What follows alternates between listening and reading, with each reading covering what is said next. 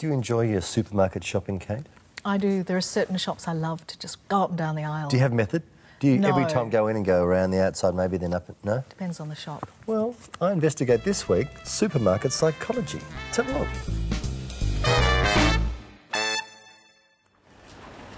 Ever gone to the supermarket for, say, milk and bread and come out with a completely chock-a-block trolley full of stuff? I'm terrible at that. Happens to me a lot. Well, Stuart from Darwin, who's studying psychology, wants to know whether supermarket design influences what we purchase. Well, Stuart, I'm here to find out. I think it does. I'm taking some of this back. I don't need that plan for a start. I have no, I don't even like plans. I started afresh with the one man who would know all the answers. Please do not scream and yell. Do not chuck any tanties again because it was embarrassing yesterday. Paul, what exactly is shopping psychology or supermarket psychology in this case? Well, it's a technique that marketers use Mm. to find out ways that consumers shop in supermarkets to manipulate the whole experience so you often buy more or maybe buy things that are against your better interests. True. True. They've never tricked me, I don't think. I reckon they have. You reckon? I reckon they have. Some of those tricks work on our subconscious, such as the use of colour. Red, being the most noticeable colour in the spectrum, grabs our attention. Green evokes fresh and healthy. And blue apparently releases our trust hormones.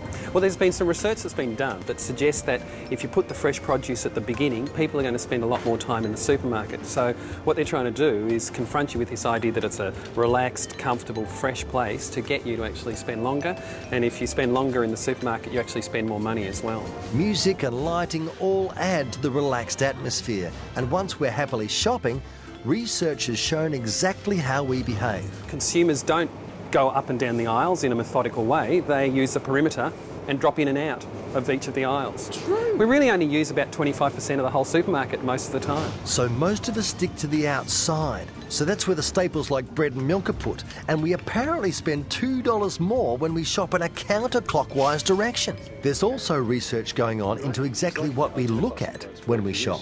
Very strong glasses. Okay, so the way it works, there's a, there's a camera which is uh, recording the, the, the scene, Right. um, in this case the shelves, and there's another one which you can see here which is um, bouncing off this special little monocle here to, re- to record how my eye is uh, moving around. Uh, well, the eye track is a special device that uh, literally measures where people look, and it allows us literally to see through their eyes as they're, uh, as they, as they're going shopping.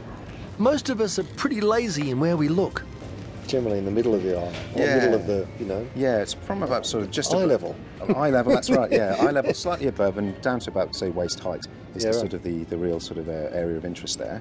Tending to scan left to right more so than, than up and down, which is also uh, something we've seen quite a lot of. Right. And so that has ramifications for how you how, how brands block their their products on shelves. Should they do that vertically or horizontally, depending on the type of shopper they're trying to. uh, Oh, there's my eye.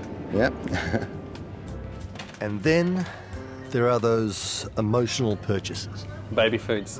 Very emotional purchase. It is. And people think a lot about them. And one of the things that they do is that they put the baby foods away from most of the rest of the supermarket because they know that people will stop and think Yeah. and start to get emotionally involved. Uh, so, are you okay? Yeah. Just push on. Yeah. Push on. Sure. No, no, no, that's I just fine. want to go back to the condoms. Okay. How do you avoid um, being sucked in by the way the shop's planned? Well, I mean, there are old favourites, things like shop with a list. You know, and if you shop with a list, I know it's boring, but if you go to the process of go through the process of writing down what you need, you're just going to be thinking about it a little bit more when you get to the supermarket. The other thing is don't shop with people who stress you out, whether it's kids or some other loved one. Yep. Uh, because again, what will happen is that you'll make decisions that aren't good for you. The other one is, and again, this is a classic one, don't shop when you're hungry. And we oh. don't actually learn. I'm bad at that. Yeah, me too. All businesses are going to try and use psychological interventions to get us to behave in a particular way. But the reality is that as long as we're aware of that, we can defend ourselves that little bit better. I really enjoy that. So I do a lot of grocery shopping. I don't mind grocery shopping myself. I quite like, quite therapeutic at times. Yeah.